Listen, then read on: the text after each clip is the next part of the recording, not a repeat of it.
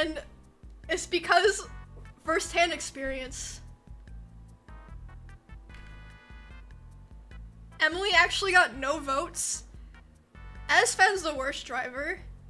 Okay, the problem with Esfand is um he he'll like press the gas and then let go and then press the gas and then let go and like hit the brake and then hit the gas.